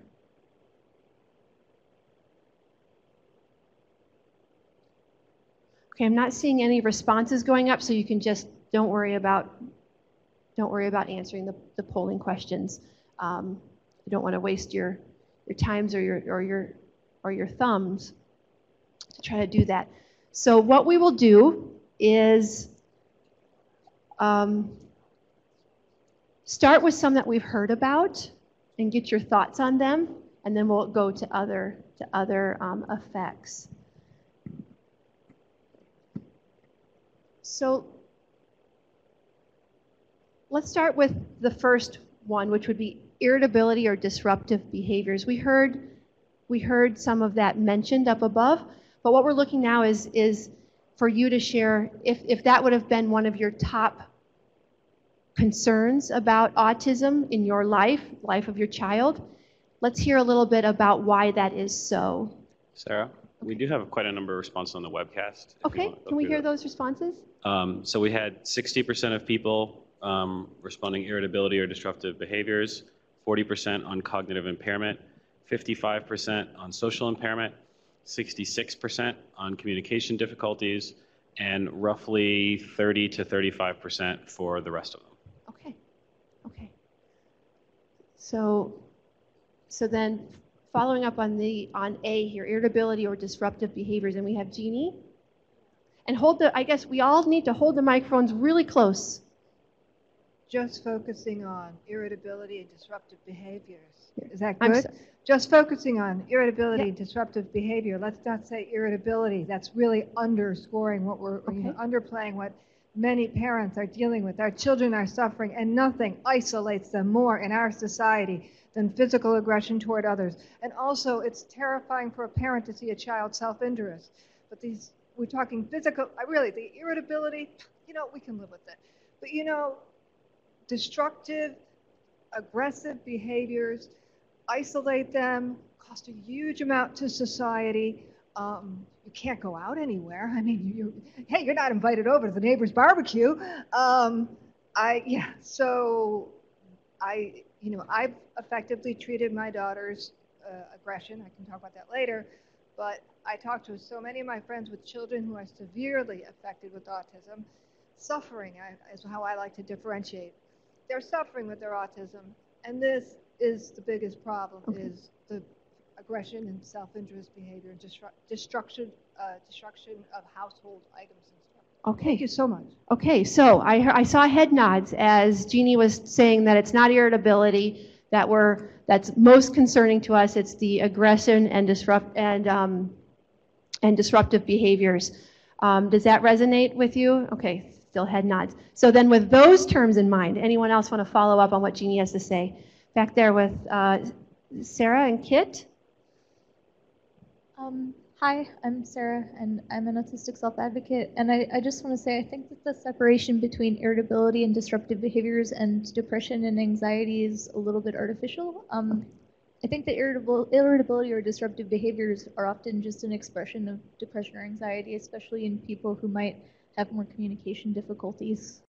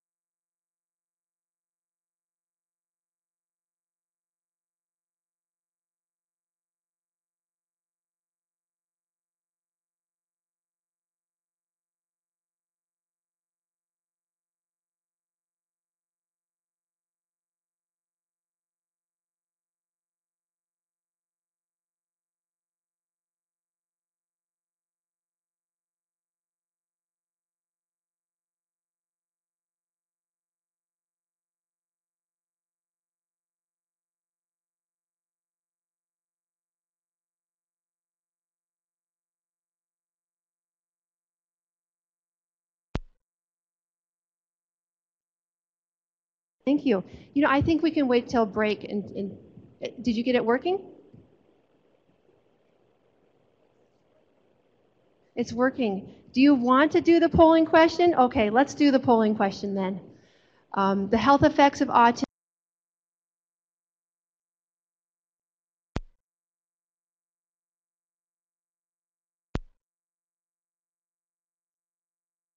Um, in that category as well.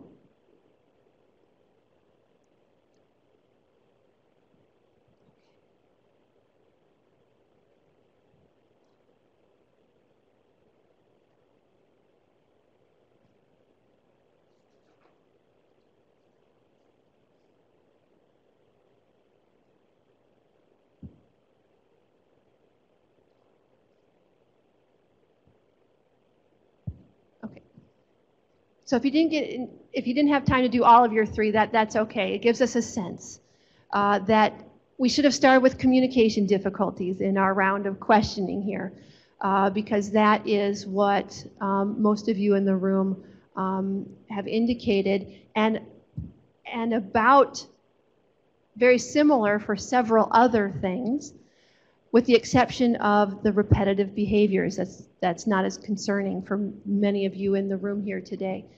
You also have indicated a lot of other health effects. We heard about the co-occurring health effects mentioned. We might not get into those as much today, but we'll try to save time to get into other health effects. So Kit made this point about the behavior means something else is challenging, and you mentioned communication difficulties, so let's follow up on that. And hear a bit more about the role, the, the impact that the communication difficulties have. And, and brief but specific examples would be very helpful. Anyone like to follow up? Okay, we'll go with Cheryl. My older child that I spoke of, my older son that I spoke of before, his sole way of communicating is to tap his chest once for no and twice for yes. And he can't use communication devices. He has them, just something won't let him. And um, when he feels better, he does start using words, but most Mhm. of the time, that's what we have. Okay, thank you. Thank you. Anyone else? We'll go. Hi, I'm Stuart Spielman. I'm with Autism Speaks, and I'm the parent of a 22-year-old with autism. My son is not verbal, and he has an intellectual disability. Uh, communication is a continuing challenge. Uh, my wife and I um, often uh, have to guess um, what what Zach is trying to uh, communicate. Uh, one of the issues that comes up a lot is is the everyday issue of uh, the bathroom. Does Zach have to go to the bathroom or not? He signs when he has to go to the bathroom, but sometimes he signs. He uses the same sign to um, to sort of go away from a situation. We don't know if he really has to go to the bathroom or if he's bored. He's at a restaurant and uh, he's finished eating, and my wife and I have not. So uh, obviously, this is a uh, uh, important social behavior. Um, we have, you know, we have to be mindful. We, we want to make sure that uh, he doesn't have an accident. So this is uh, a continuing challenge. Okay, thank you very much. Um, anyone else? Right back there?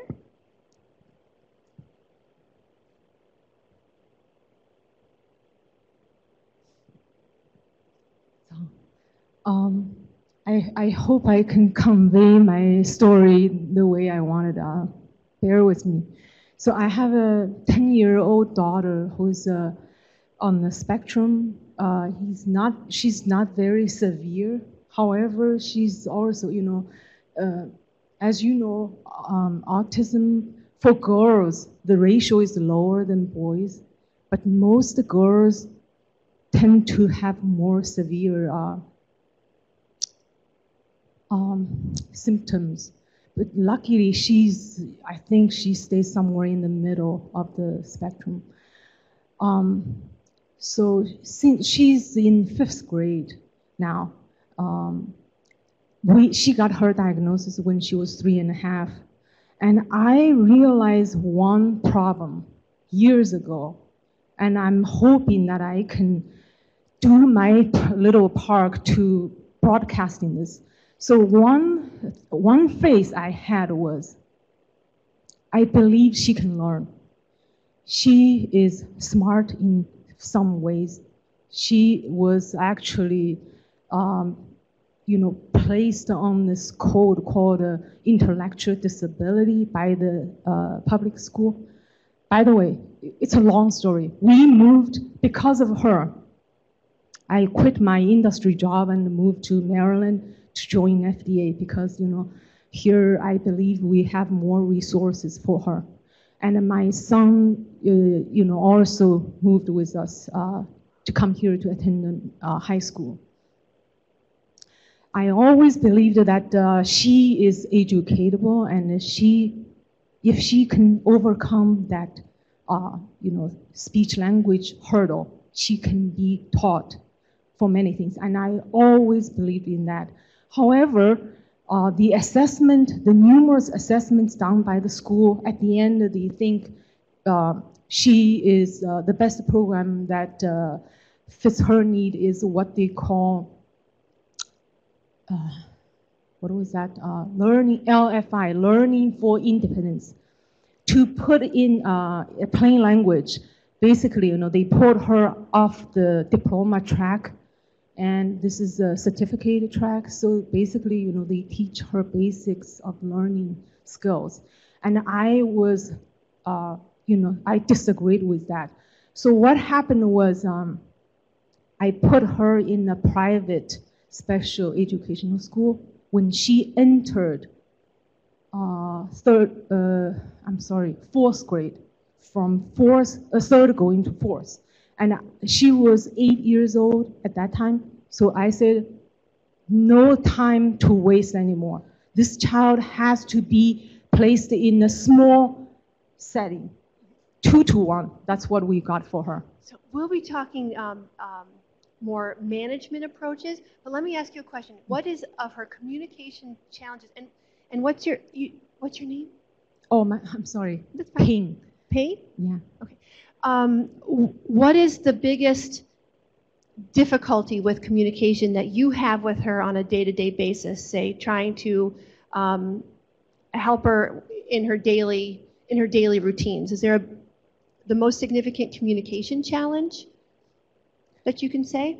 Uh, you know, I don't know how to uh, describe it precisely, but it evolves over the years. At the beginning, it was even the basics, but later on, you know, I, that's how I realized, you know, if your patient, for example, uh, I spent six months teaching her the concept of wait, wait, wait for your turn, and once that, once she got that, you know, everybody's life is changed.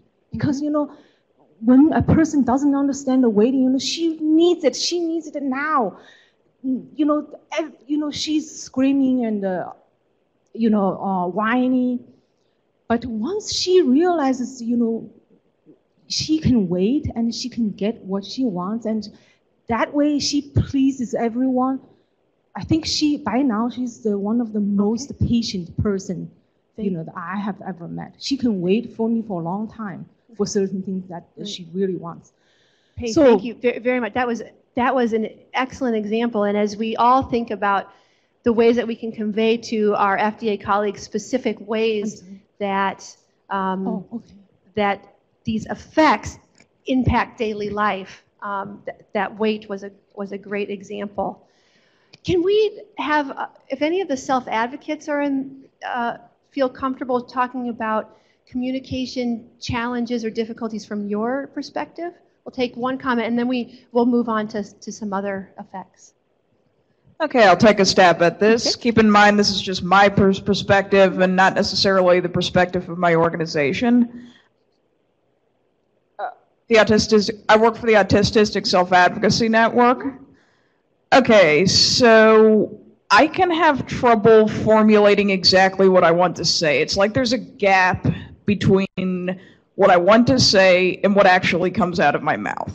Mm-hmm. Often, what I end up saying is a sort of compromise between the block and and what's actually poss- what's actually possible. Oh, I particularly I'm an incredible writer, not so much great a speaker, and I've struggled getting my words out in speech for most of my life. Most of the people who know me well know me online because there I can be my full self. And I don't know if there's any kind of drug that could even fix this. It doesn't seem like something that could be treated in, the usual sense. But I've often I've often thought about it and wondered if there was a cause or a source. I just don't think that a lot of the research into autism is going into what autistic people would actually want to know about their condition. All right, well, thank you very much, Kelly. Um, Before we move away from communication, um, anything on the FDA panel that you'd like to ask a question about? Uh, Ebony? And talk really close to the microphone since we all have to do it. really close. Um, so, with regard to the impact of communication difficulties, I want to hear separately from the caregivers as well as individuals with autism.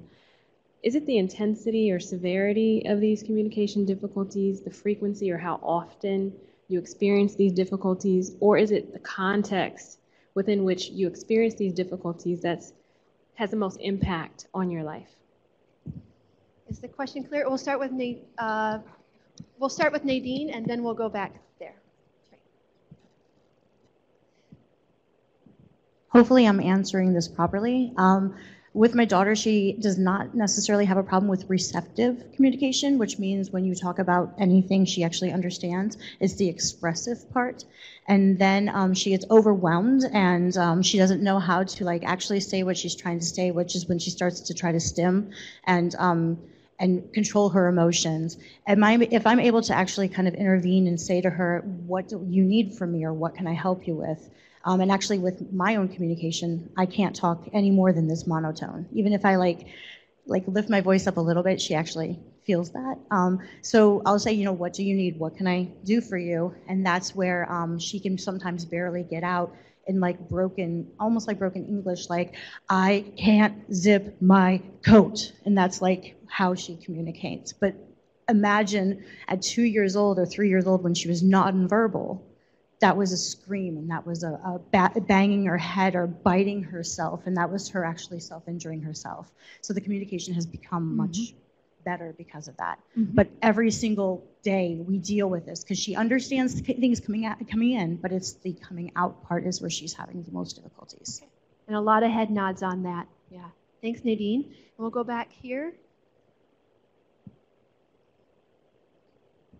Hi, I'm Montessa Lee, and I'm not necessarily a caregiver, but I'm here on an education perspective because I taught in an autism program in our district, and um, now I'm a mentor teacher, so I mentor teachers, and, and some are working with um, students diagnosed with autism.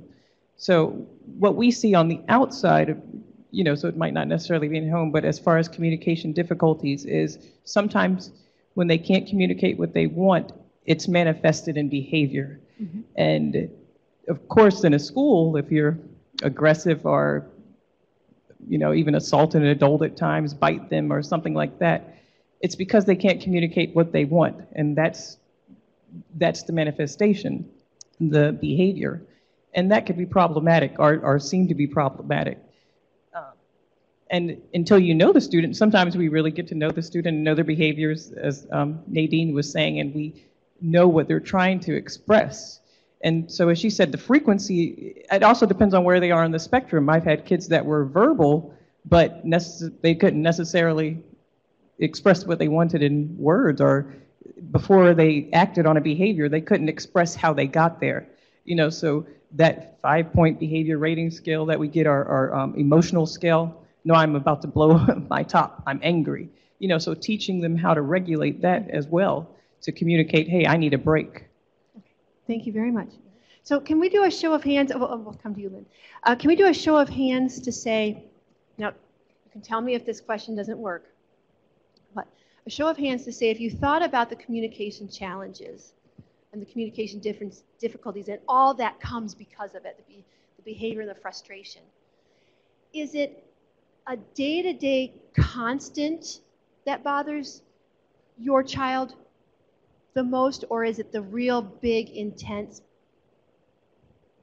um, really striking communication challenges that happen maybe once in a while or less often? Is it more a constant, or are there times where it comes and then comes really strongly with a communication chal- challenge and a, and a behavior that, that bothers you? Okay, let's go to Tom first, and then we'll come to you, Lynn, for whatever.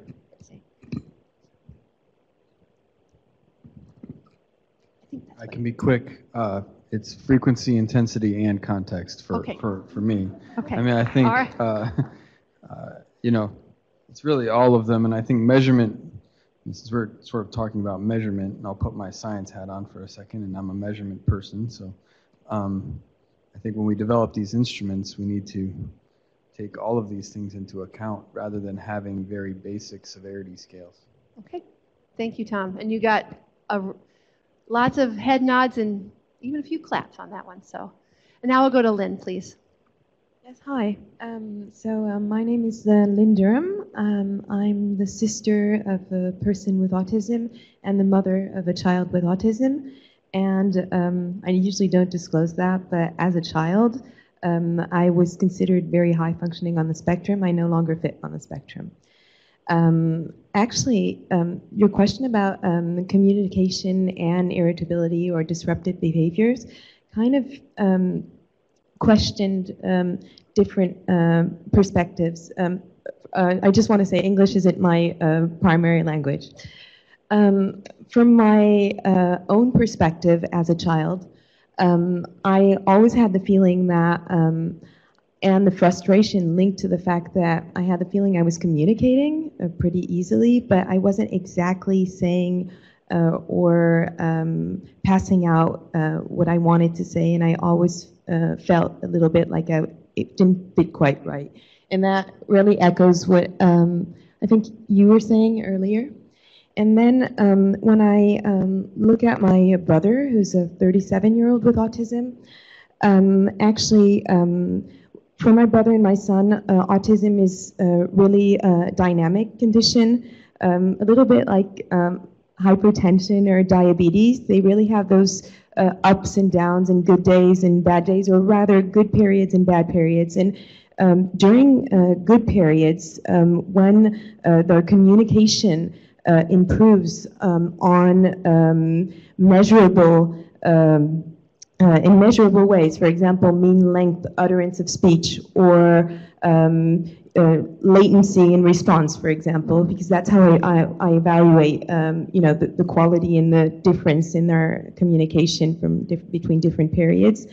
It's very different in my brother and in my son. Um, my brother is, um, I would say, in the middle functioning range. He has, uh, I hate IQs, but um, he has an IQ of about 85. Um, and um, when um, he's in an up period um, and that uh, he feels more at ease um, in communicating, um, his level of uh, depression, measured level of depression, goes down.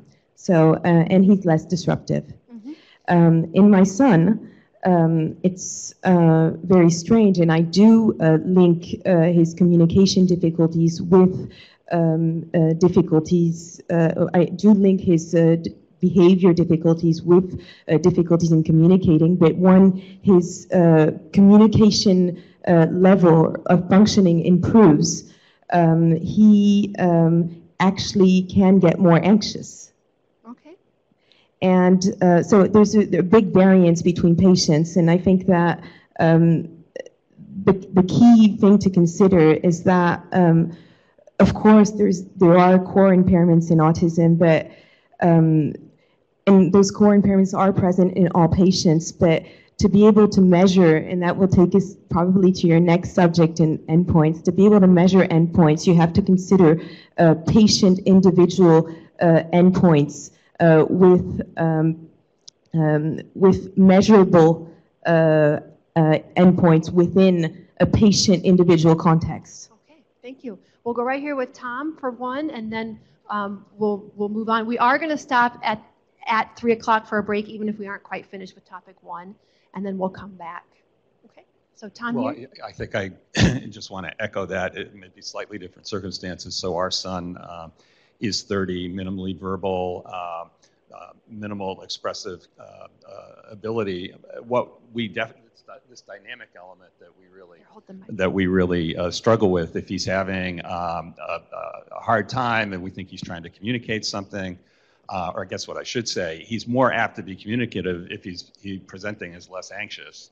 He's more apt to be less anxious if he's presenting as not stressed out by his environment.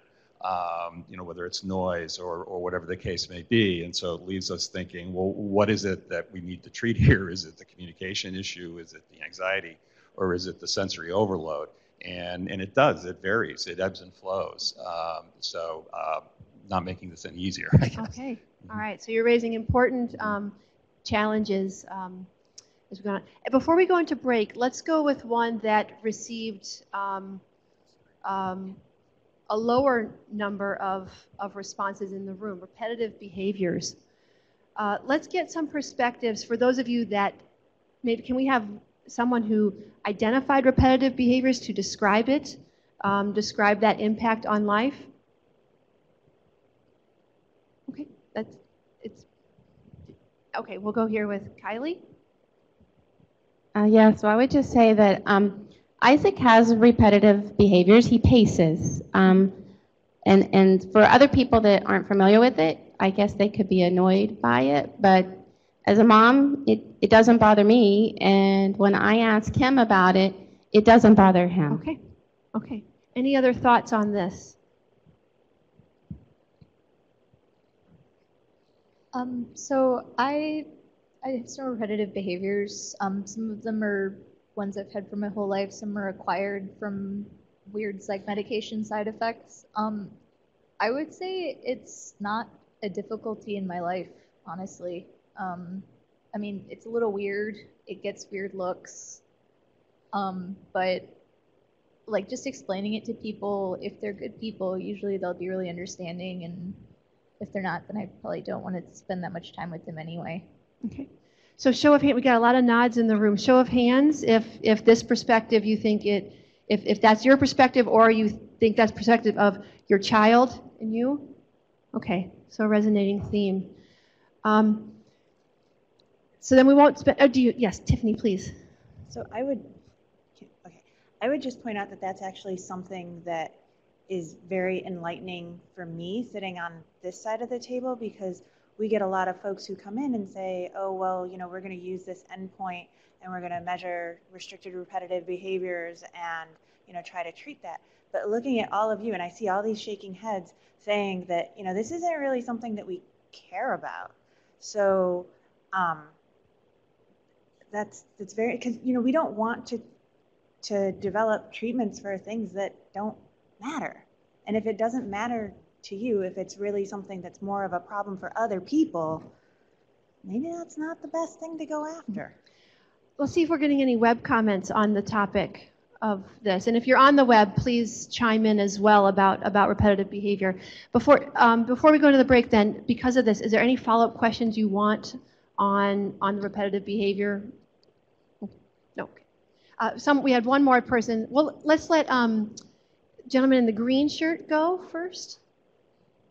And then we'll Uh, have Lynn, and then we'll go for a break. Okay, quick comment. Um, I am on the autism spectrum. I don't have a lot of repetitive behaviors at this point, but I have had things that were, um, I don't know, I felt like somewhat compulsive physical motions and stuff. And I don't think that the behaviors were necessarily a problem, but I would point out that sometimes there were things that I've done due to underlying physical discomfort and a sort of physical restlessness that is actually an unpleasant phenomenon. So I Mhm. want to just point out that the behavior may not be a problem, but sometimes what's driving it may not be the greatest thing to be dealing with. It and could should be assessed as a possible treatment target. Okay. So the underlying, whatever is leading to the, the behavior, the repetitive behavior, is something that is worthwhile to, to, um, to explore further. Okay, great. Uh, we'll go with Lynn, and then we'll take a break for 10 minutes. I'm sorry, I didn't want to speak that much, but there really was something I wanted to t- say about repetitive behaviors. Um, from my m- multiple experience, um, it's not really the repetitive behaviors that have been a problem, it's more the restricted uh, interests. In the sense that, um, in my um, brother, for instance, um, he won't uh, leave um, and the rigidity. He won't leave, um, uh, he won't go any further than um, uh, 20 miles uh, away from his house. Um, and um, my son um, is, uh, our his interests are so restricted that um, when we can't stay at the house for uh, on weekends for more than a half an hour because uh, he, he starts getting anxious because he doesn't know what to do and he doesn't know how to occupy himself. And so, uh, even if it's raining, snowing, anything, we have to go out and uh, uh, take him to do sports activities because he doesn't. I, I don't really have the term um, um, to, to define this because it's really a feeling, but he doesn't really know what to do with his own skin. And so we just have to go out and, um, you know, offer him constant um, activity and occupation. So it's not re- the repetitive behavior, it's the restricted uh, interest and uh, rigidity. Okay. Would anyone, um, those of you that had the eye other health effects, would you have put what Lynn just described? Was that in your eye? Show of hands, please. Okay. No, so there are other things besides that. Okay. Let's take a break um, for 10 minutes and we'll come back at about 3:12 and get started again. Um, or again, the restrooms are back there. We'll get started and we'll see if there's any follow-up on here, and if we haven't fixed the feedback issues, I think we'll do the topic two panel comments from the tables, um, because I think that's easier. So anyway, everyone come back to your seats um, in 10 minutes. Thanks.